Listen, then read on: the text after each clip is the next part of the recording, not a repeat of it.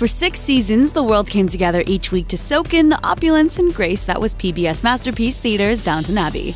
The highly decorated show was a massive success with critics and audiences alike, but even the most ardent Downton fans might not know the finer details of its making. Here's the untold truth of Downton Abbey True Homefront. Want to pay a visit to the real life location featured in the show? You're in luck. Most of the series was filmed at Highclere Castle, an estate in Hampshire, England that's home to a real life family headed by the Earl and Countess of Carnarvon. The stately mansion has even welcomed Queen Elizabeth from time to time for, what else, a game of cricket. While most of the servant quarter scenes were filmed in a London studio, shots of the estate's beautiful exterior and lavish interiors were the real deal. In addition to being open to the public, Highclere Castle can be rented for weddings and parties. Pricey production.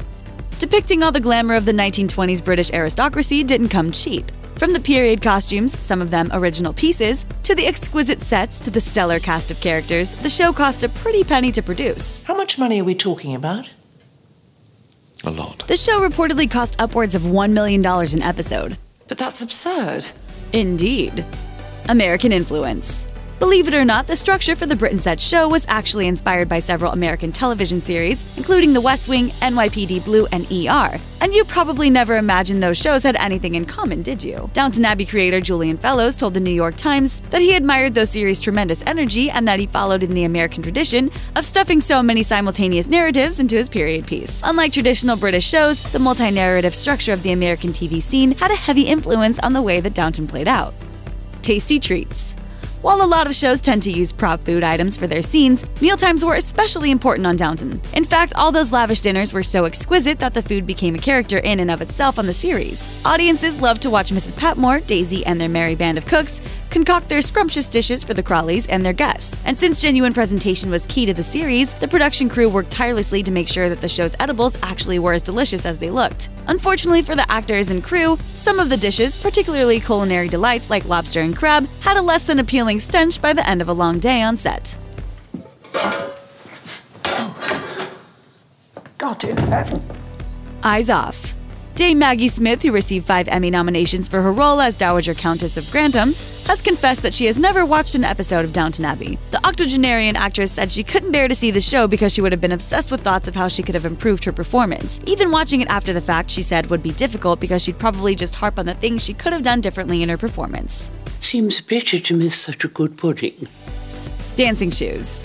Before Jessica Brown Findlay stole the hearts of fans as Lady Sybil Grantham, the actress was an accomplished ballet dancer. Her love for dance began when she was three years old, and she went on to perform with professional ballet circuits until an ankle injury ended her career as a dancer. Heartbroken, Findlay continued to pursue her love of performing arts by taking acting classes and began a career as an actress, which is how she ended up on the show. Of course, that history of movement still has an impact on her current line of work as well. Findlay told The Telegraph, I do still have a dancer's mentality, which may be to do with the training. It gives you a kind of determination sourcing a scandal.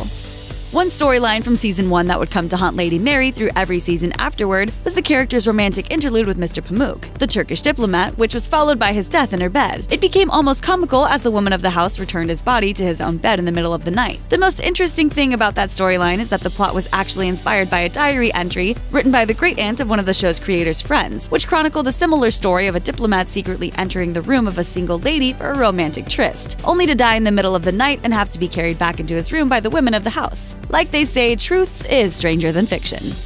A young woman of good family who finds herself in the bed of a man who is not her husband has invariably been seduced. Unfortunate naming.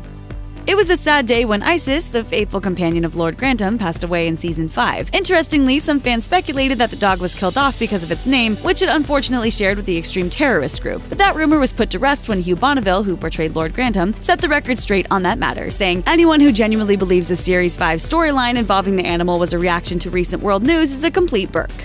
That is all I have to say on the subject.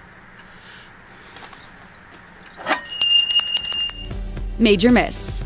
X Files alum Gillian Anderson was originally offered the role of Cora, the Countess of Grantham, but turned it down due to the fact that she had small children and didn't want to film on location for long periods at a time. It wasn't the only hit show she'd say no to for the same reason. Anderson also passed on the chance to appear in Game of Thrones. Her loss was certainly Elizabeth McGovern's gain. Queenly critique.